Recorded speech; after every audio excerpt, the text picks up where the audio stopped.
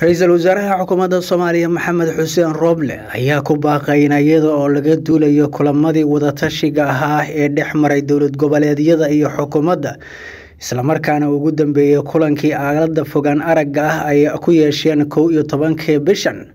hogaamiyaasha dowlad goboleedyada ee ra'iisul wasaare maxamed xuseen rooble islamarkaana ay ku heshiiyeen in la dedejiyo doorashada golaha shacabka soomaaliya iyadoo lagu soo afmeerayo muddo bil ah oo ka bilaabanaysa labaatanka bishan islamarkaana ku eg labaatanka bisha disembar ee soo aadan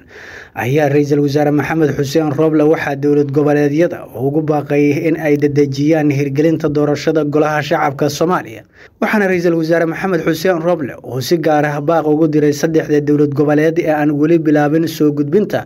kuraasta golaha shacabka soomaaliya islamarkaana uu ka dalbaday in ay si deg deg ah u bilaabaan doorashada.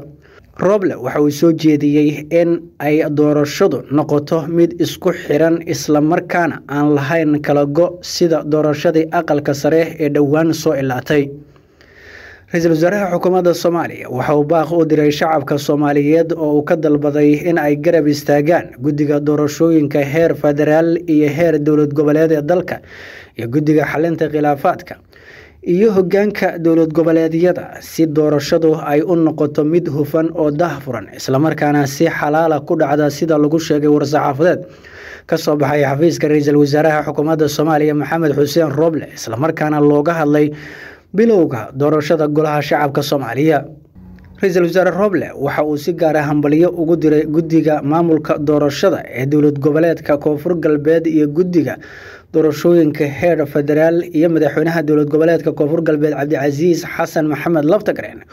ugu hambaliyeeyey sida ay u dardargelinayaan doorashada golaha shacabka soomaaliya iyo soo gudbinta kow iyo toban kursi oo ka tirsan xildhibaanada deegaan. Doorashadoodu ay tahay koonfur galbeed islamarkaana dhowaan ka dhacaysa goobihii loogu talagalay